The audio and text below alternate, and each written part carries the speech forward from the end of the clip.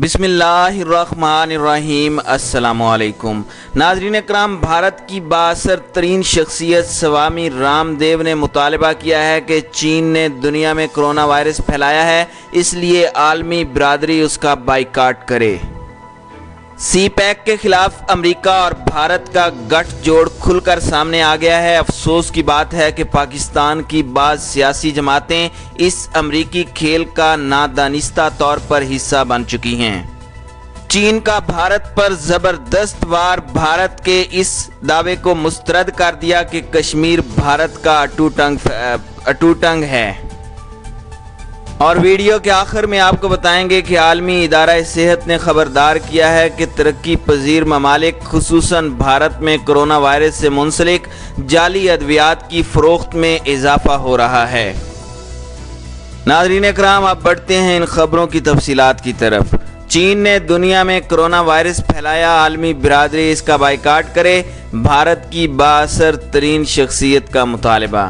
ناظرین اکرام اطلاعات کے مطابق بھارت کے متنازعہ مگر باثر ترین یوگا گروہ رہنما سوامی رام دیو نے دعویٰ کیا ہے کہ چین نے ہی دنیا بھر میں مہلک وبا کرونا وائرس کو پھیلایا۔ ناظرین اکرام خیال رہے کہ کرونا وائرس کا آغاز چین کے صوبے ووہان سے ہوا تھا، جہاں دسمبر دو ہزار انیس کے وسط میں پہلے کیس کی تصدیق کی گئی تھی۔ ابتدائی طور پر کرونا وائرس صرف چین چینی شہر ووہان میں ہی محدود تھا، تاہم بعد ازاں مذکورہ وائرس چین کے دیگر شہروں اور صوبوں میں پھیلا۔ اور جنوری دو ہزار بیس کے وسط تک یہ وائرس چین سے نکل کر جنوبی کوریا اور ایران جیسے ممالک سمیت یورپی ممالک تک جا پہنچا۔ بھارتی تنگ نظر یوگا، رہنما نے عالمی برادری سے مطالبہ کیا کہ وہ چین کا بائیکاٹ کرے۔ یہ بھی یاد رہے کہ بھارت چین کے حوالے سے پہلے ہی متعصبانہ رویہ اختیار کیے ہوئے ہے۔ ناظرین اکرام، دوسری جانب امریکہ ایک حکمت عملی کے تحت چین کے پاکستان کے ساتھ بڑھتے ہوئے معاشی تعلقات اور سی پیک منصوبے کو چند سالوں سے پیچھے دھکیلنے کی کوششوں میں مصروف ہے۔ ان کوششوں کی بنیادی وجہ امریکہ کے عالمی اور علاقائی سلامتی کے مسائل ہیں۔ سوویت یونین کے خاتمے کے بعد امریکہ واحد سپر پاور کے طور پر سامنے آیا۔ اس وقت امریکی پالیسی سازوں نے فیصلہ کیا، اب کسی بھی، کبھی بھی سوویت یونین جیسی حریف طاقت کو ابھرنے کا موقع نہیں دیا جائے گا۔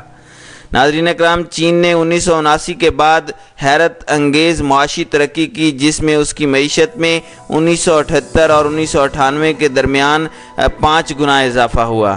امریکہ اس ترقی کو اپنی عالمی برتری کے لیے ایک خطرناک خطرہ سمجھتا ہے۔ اکیسویں صدی کے آغاز سے امریکہ نے چین کی بڑھتی ہوئی معاشی اور دفاعی طاقت کا مقابلہ کرنے کے لیے حکمت عملی بنانی شروع کی۔ اپنی سرد جنگ کی پالیسی کی طرح امریکہ نے جاپان، جنوبی کوریا اور آسٹریلیا کے ساتھ دفاعی اتحادوں کے لیے کام شروع کیا۔ اس کے ساتھ امریکہ نے بھارت کو بھی اس حکمت عملی میں شراکت دار بنانے پر آمادہ کرنے کی کوشش کی۔ بھارت کو چین کے علاقے میں بڑھتے ہوئے اثر و رسوخ سے علاقے میں اپنی، اپنے منصوبے خطرے میں نظر آئے، اس لیے امریکہ کے ساتھ ہو گیا۔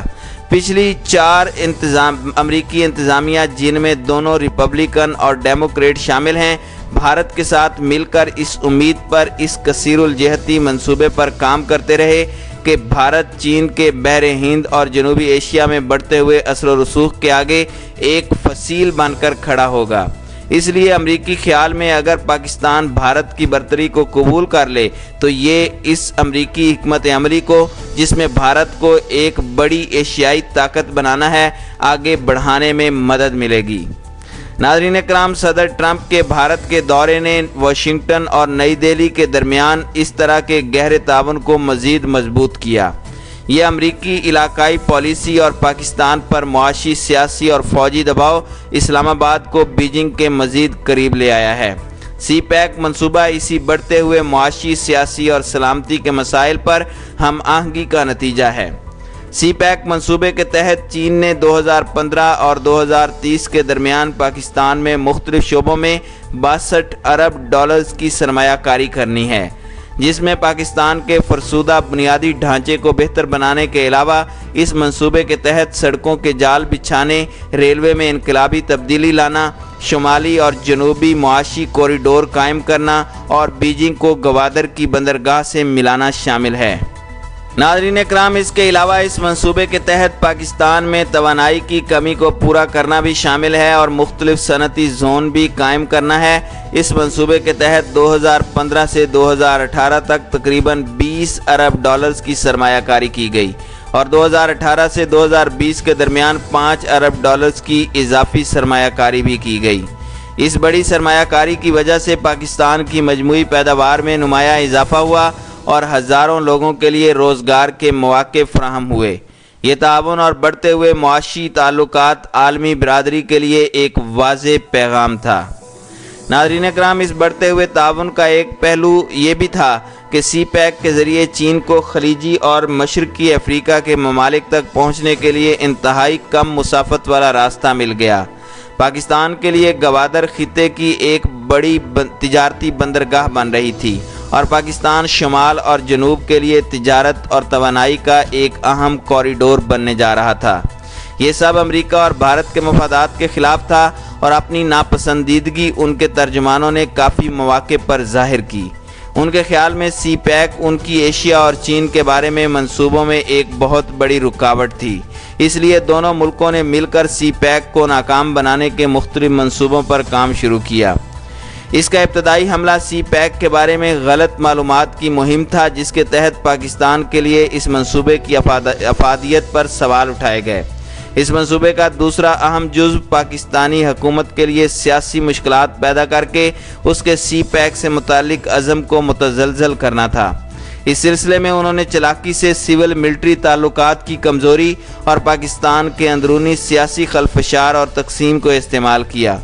دو ہزار چودہ میں حکومت کے خلاف چھ ماہ کا لمبا دھرنا، جس کی وجہ سے چینی صدر شی جنگ پنگ کو اپنا دورہ منسوخ کرنا پڑا، اسی تناظر میں دیکھنے کی ضرورت ہے۔ یہ افسوس کی بات ہے کہ کچھ سیاسی جماعتیں اس امریکی کھیل کا نادانستہ طور پر حصہ رہیں۔ ناظرین اکرام، وزیر اعظم عمران خان کے چین کے ماضی کے دورے اور صدر عارف الوی کا دورہ سی پیک کے سلسلے میں خدشات کو ختم کرنے میں مددگار ہونا چاہیے۔ اس کے باوجود پی ٹی آئی حکومت کو اپنی خارجہ پالیسی کی حکمت عملی واضح کرنے کی ضرورت ہے اور غیر مبہم الفاظ میں پاکستان کی سی پیک کے ساتھ ثابت قدمی اور چین کے ساتھ اپنی مضبوط دوستی کا اظہار کرنا چاہیے۔ اس کے ساتھ ساتھ پاکستان کو یہ اعلان کرنے کی بھی ضرورت ہے کہ وہ خود انحصاری کی پالیسی پر عمل کرتے ہوئے سادگی کو اپنائیں گے اور ملک میں اندرونی سیاسی استحکام کو مضبوط کرنے کے علاوہ معاشی ترقی کو تیز کرتے ہوئے ملک کے مفاد میں اندرونی اور بیرونی پالیسیاں بنائیں گے۔ ناظرین اکرام، اسی طرح پاکستان کی طرح چین نے بھی بھارت کی طرف سے آرٹیکل 370 کو ختم کر کے جموں اینڈ کشمیر، لداخ، اکسائی، چین کو بھارت کا اٹوٹنگ بنانے کے فیصلے کو مسترد کرتے ہوئے کہا ہے کہ لداخ کے حوالے سے بھارت نے اپنی، ہماری خود مختاری خطرے میں ڈال دی ہے۔ چین بھارتی توسیع پسندانہ عزائم کا ساٹھ کی دہائی میں بھی بھرپور جواب دے چکا ہے۔ جب بھارت نے لداخ سے ملحقہ چین کے علاقے اروناچل پردیش پر قبضہ جمانے کی نیت سے وہاں اپنی افواج داخل کی اور چین کے بھرپور جوابی وار پر انہیں الٹے پاؤں وہاں سے بھاگنا پڑا۔ پاک چین دوستی کی بنیاد بھی بھارتی توسیع پسندانہ عزائم کے توڑ کی مشترکہ حکمت عملی کے تحت مستحکم ہوئی تھی۔ اس تناظر میں ہی چین کشمیر ایشو پر نہ صرف پاکستان کے موقف کی ہر عالمی فورم پر حمایت کرتا رہا ہے، بلکہ اس نے خود کو کشمیر کو متنازع علاقہ قرار دے کر کشمیریوں کے لیے ویزا فری سہولتوں کا اہتمام کیا۔ اس حوالے سے مودی سرکار کی جانب سے لداخ کو بھارت کا حصہ بنانے پر چین کی تشویش بجا ہے، کیونکہ بھارت لداخ کے راستے چین میں مداخلت کی نئی سازش کر سکتا ہے۔ اسی تناظر میں چین نے کشمیر کے حوالے سے بھارتی اقدام کا فوری نوٹس لے کر پاکستان کے موقف کو تقویت پہنچائی ہے۔ تنازعہ کو حل کرنے کے لیے بھارت اور چین کے درمیان بریگیڈیئر سطح کے مذاکرات ہوئے، جس میں کشیدگی کم کرنے پر اتفاق کیا گیا۔ پندرہ اگست دو ہزار پندرہ کو بھی دونوں ممالک کی افواج کے درمیان اسی علاقے میں ایک جھڑپ ہوئی تھی، جس میں لاتوں، گھونسوں اور سریوں کا آزادانہ استعمال کیا گیا تھا۔ جس سے متعدد فوجی زخمی ہو گئے تھے۔